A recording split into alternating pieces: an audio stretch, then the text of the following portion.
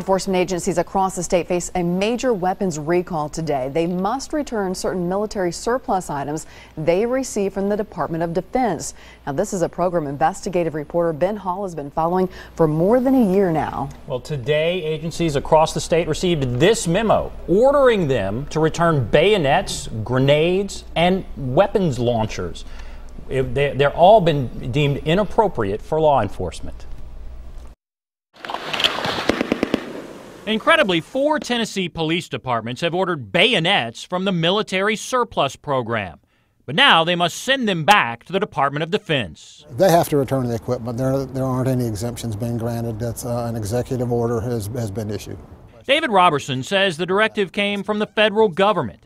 The memo also orders local departments to return grenade launchers and tracked armored vehicles like tanks. Many were items used in wars in Iraq and Afghanistan and obtained by local police departments at little or no cost. And so what we've seen is just a massive, massive transfer of, of, of gear, of guns, you know, um, vehicles, armor, you know, other weaponry. You must disperse immediately. Concern about the surplus program rose after people witnessed the police response to protesters in Ferguson, Missouri. President Obama signed an executive order limiting the program and ordering this recall can alienate and intimidate local residents and send the wrong message. Our investigation discovered that the Tennessee Highway Patrol ordered 135 bayonets back in 2009 from the military surplus program.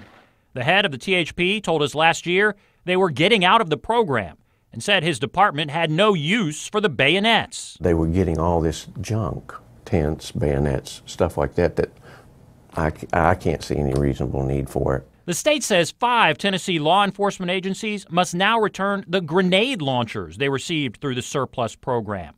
And 11 departments must return track armored vehicles. Uh, this is our newest armored uh, protective vehicle. The recall does not include mine resistant vehicles used overseas to protect soldiers from roadside bombs. Lebanon Public Safety was one of several local departments that got one of those vehicles. The situations we would use this vehicle in would be for hostage negotiations, you know, putting this vehicle between uh, the bad guy and the good guys. The Department of Defense will actually send a flatbed truck to pick up those armored vehicles. All of this equipment must be returned by April of next year, so they do have some time to figure all of this out. That's good, but what a mess. That's right. All right, thank you, Ben.